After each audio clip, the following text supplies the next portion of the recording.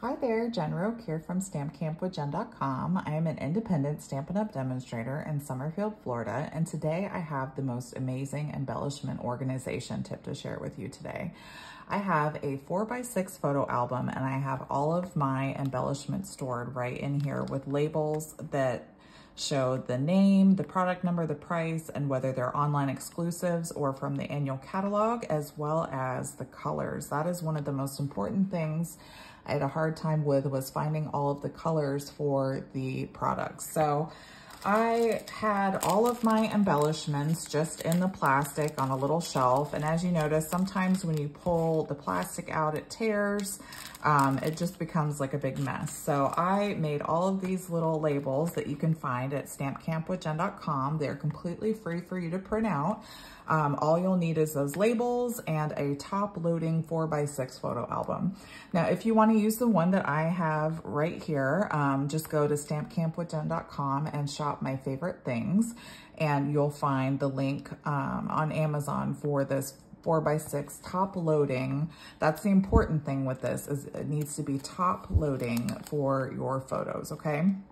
Um, so my Amazon link, these come with two in a pack. They're about 26 sheets, so you'll get about 52 embellishments per book. Um, if you don't need to, give one to a friend. I also have this little printable right here that you can put in the front of this album. It's super cute, and this is gonna go on a shelf with my stamp sets. I just love having all of this in one place. So what you'll need to do is you'll need to print these out. When you print them out, they come in a sheet like this, two to a sheet.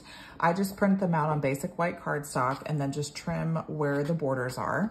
And then you'll just put them all in your booklet. And what I like is if I don't have the embellishment, I don't have it in front of the label. And that's how I know that I haven't purchased that one yet. And I don't buy additional ones that I accidentally, or that I already had. um, so you can do it that way like I did. Or if you'd rather kind of spread them out, you could leave this side blank and put the embellishment right next to the label if you want to do it that way as well. Um, so what you're gonna need to do is for your um, embellishments, you will take them out of the sleeves and you'll just take it out of the little plastic here. And what I like to do is I don't like the little flap on the top. I just want everything nice and flat and neat. So I am gonna grab, I have a guillotine paper trimmer that I like to use. This one's by Tim Holtz and I also have the link for this in my uh, favorite things on my website. But I'm just gonna take this and where that little crease is, I'm gonna just chop that top part off right there. So everything is nice and flat. And now all I'll be able to do is just find the label that it goes with and then we'll just load it from the top in there. Now, most of the embellishments are about four inches wide, so you should need to trim it widthwise. You might need to trim it um, from the top to bottom because they may be a little tall. Um, but for the most part, they should just slide right in there and be about four inches wide, okay?